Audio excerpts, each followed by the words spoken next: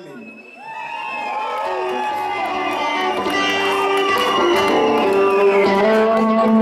ja Merilin Varik.